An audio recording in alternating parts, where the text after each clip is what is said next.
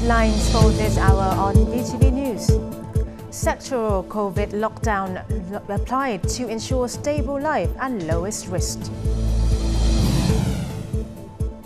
Tax incentive to assist businesses investing in industrial zones.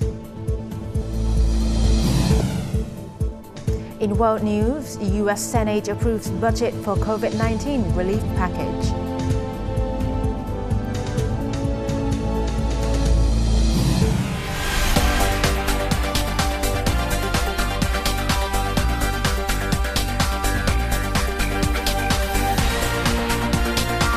Broadcasting from Hanoi, the capital of Vietnam.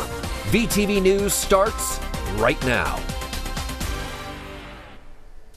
Hello, it's 3 p.m. local time, and you're tuning in for 30 minutes of VTV News live from Hanoi. And here are the latest updates about Vietnam, especially the COVID 19 pandemic.